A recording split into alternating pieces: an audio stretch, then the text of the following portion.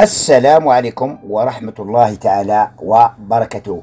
من أهم البوادر على اهتمام الدولة الجزائرية بالمجال الزراعي هو انتقال المسؤول عند الفلاح من أجل تشجيعه والوقوف على حاجته فأصبح المسؤول مهما كانت رتبته سواء على المستوى المحلي أو الولائي أو حتى الوطني ينتقل عند الفلاح ويقف على المشاكل ويبادر في حلها. وهذه العوامل هي التي جعلت عربة التنمية الزراعية تنطلق وبقوة.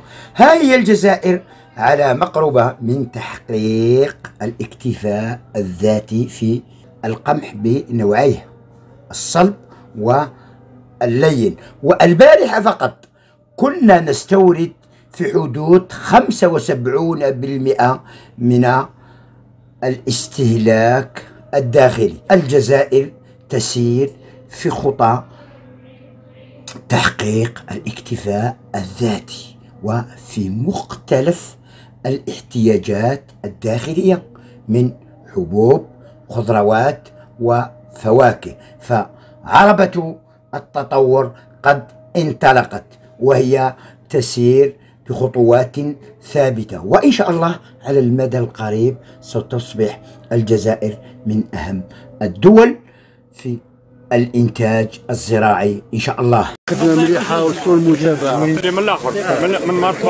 النوعيه تاعها كي دايرة. هذيك النوعيه تاعها التحدي الحقيقي راجل رئيس مجلس. التحدي الحقيقي ترجع لنا مع هكذا شو اللي حاب يخدم يخدم سي صح هو هو قلت عليها. شوف المنتوج الله يبارك نرجعوا الولاية كامل كون كبير ترجع كامل. هذا هو التحدي. اللي حاب تروح المنطقة الجنوبية ولا المنطقة الشمالية كل تراب الولايه شوف المكسب لازم الحمد لله. كي تقول واحد في النعامة ما يصدقش يقول لك كاين منتوج بالشكل هذا تبدل بالمعنى الركب فوق راسك بقى في الاطار هذا ان شاء الله ودولنا اليوم شوف كاع المسؤولين هنا بالنواب الحمد لله الحمد لله دارتنا بركه والشغل ماذا بيا ماشي انت ماذا بيا كل الفلاحين كل الفلاحين كل الفلاحين فعلا فعلا الخير كاملين الله يبارك فيهم كاملين بهم لا نبغوا الفلاح ونبغوا حتى اللي يفلح ربي هو اللي يشهد والله لا نبغوا اللي يفلح النواب كلهم والله عليك هذا هو التحدي الحقيقي الله لازم يتبعوك. الله يحفظك قال هو اللي حاب يخدم. هذه كاينة ماشي مصدقه اليوم.